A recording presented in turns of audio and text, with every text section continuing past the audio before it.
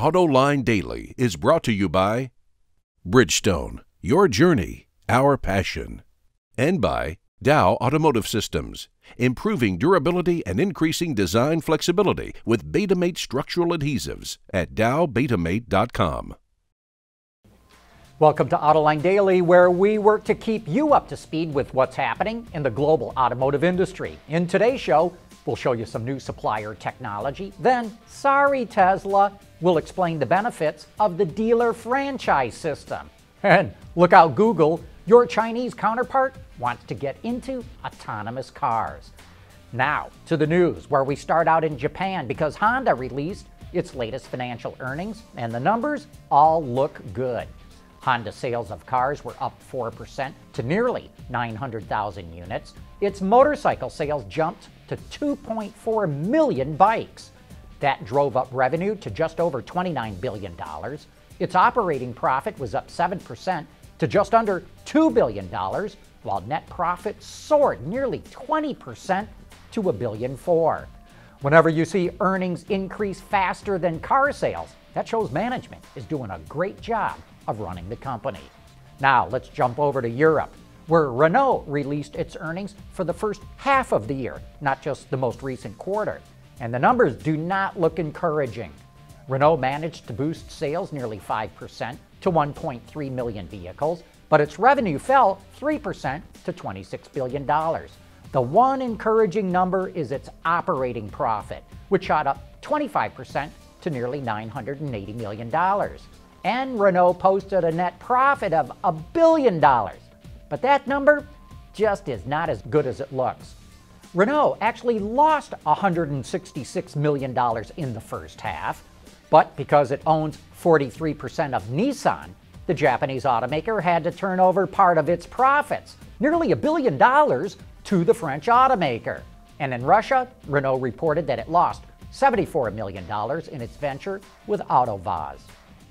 Well, that sure didn't take long. Kia updated its best selling SUV, the Sorento, just over a year ago, and now it's already showing off the all new third generation. Unlike the last time, the styling will be getting more than just a few tweaks to the front and rear fascias.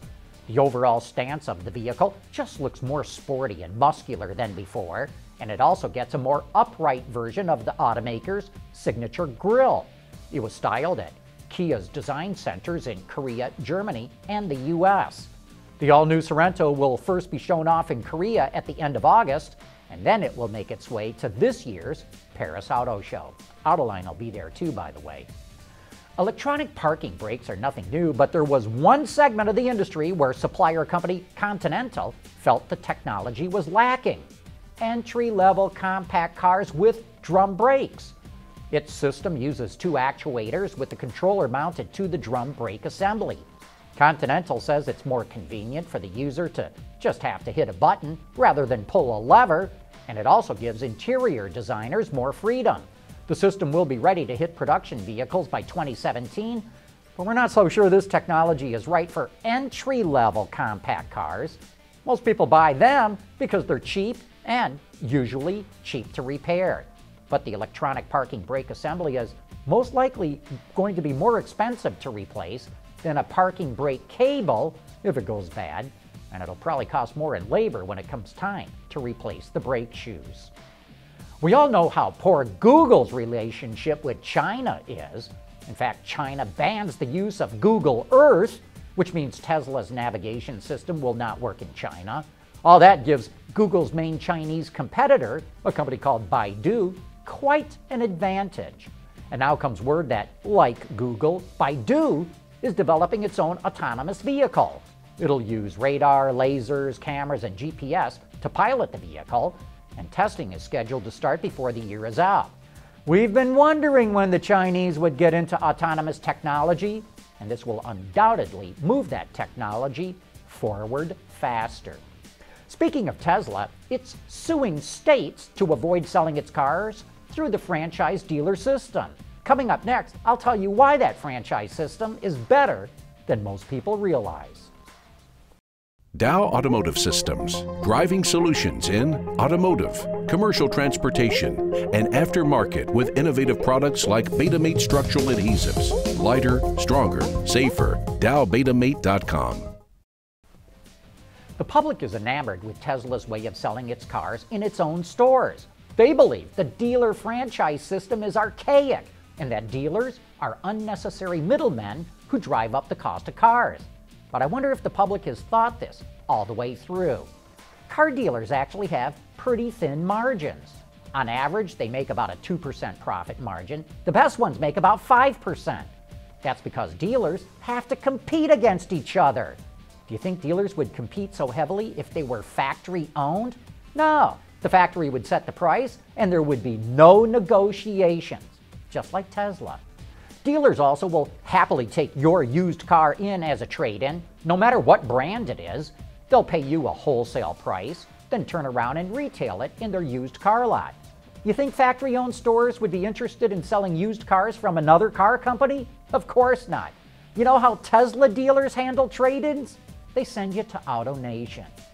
Dealers are consumer advocates when it comes to doing warranty and recall work because they get paid by the factory to do it. You think factory owned stores would be so consumer friendly? Warranty and recalls would represent higher cost, not more revenue. You know, personally, I have no problem with Tesla wanting to sell its cars in its own stores. I admire Elon Musk's we'll do it our way approach, and besides, Tesla is a niche player. The real danger is when Chinese automakers finally start to sell cars in the American market. They could easily decide to sidestep franchise laws because Tesla has already set the precedent.